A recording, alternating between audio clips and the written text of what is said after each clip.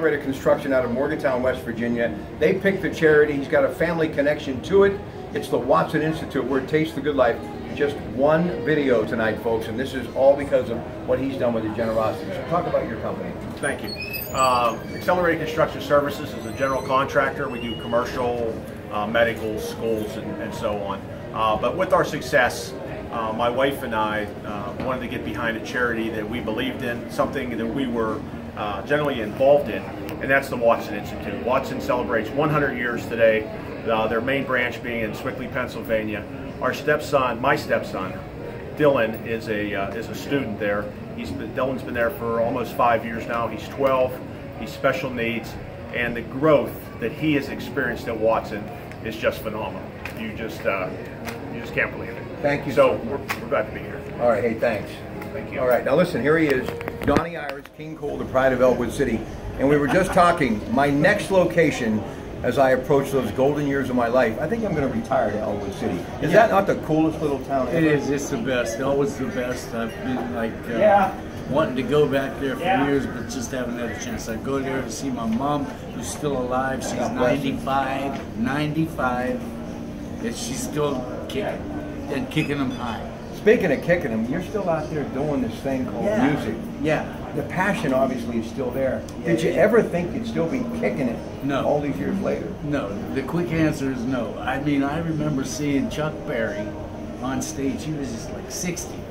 How can And he I do that thought- duck I'm- walk? I'm, thinking, you know, that's never going to be me, not when I'm 60. I'm like 18 at the time, and I'm thinking it's not going to happen that way. Here I am, I'm 74 now, I'll be 75 in February, and I still want to do it. Listen, I actually host this real estate thing called the Pittsburgh Property Diva with Lauren Klein on Saturdays. She's from Coldwell Banker, and we were talking about all my different friends in real estate, Ron Kraushaar, Berkshire Hathaway.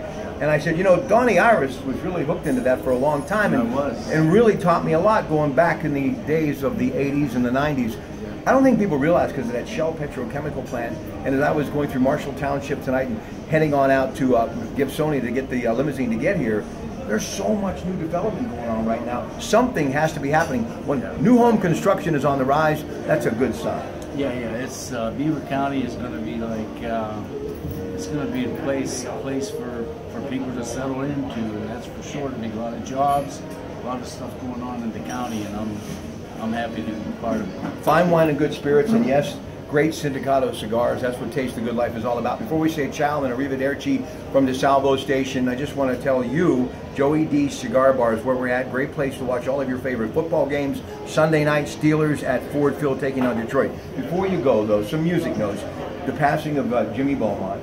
And, and obviously, just yesterday, and I did a big video blog on it, Fats Domino passing away. Yes. So, building blocks of rock and roll that are still a part of the foundation, right? Absolutely. I uh, I knew Jimmy well, and um, I remember somebody, Phil Spector, once said that he was the best white, blue-eyed soul singer in the world, Absolutely. and uh, I believe he was.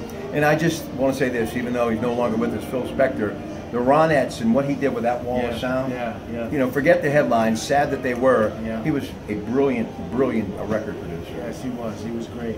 All right, so are you. Thanks, man. Ladies and gentlemen, I'm still standing. I'm still standing. The great Donnie Iris, good night from the Salvo Station. Woo, woo.